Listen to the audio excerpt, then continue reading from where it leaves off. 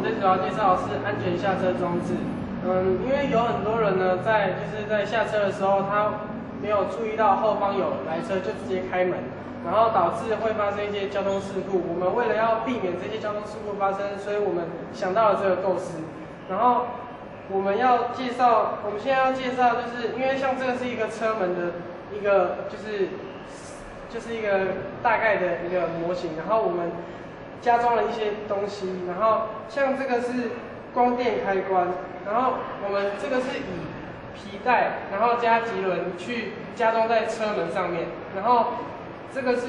电池开关，然后在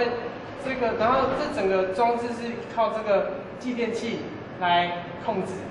然后那我们现在来示范一下，然后当那个人要下车的时候，然后我们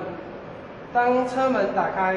然后无法全开，然后我们这个时候会想到，因为这个装置它的它在于就是要让我们要想到我们必须要回头看后方是否有来车，所以我们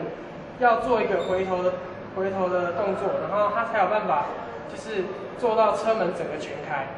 然后现在我们做回头的动作，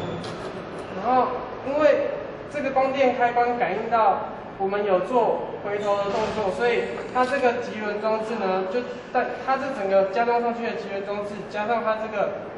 皮带，它整个控制可以使车门变成说本来是以不能全开，然后后来改成可以全开，然后就是这个装置的设计就是这样，大概就这样。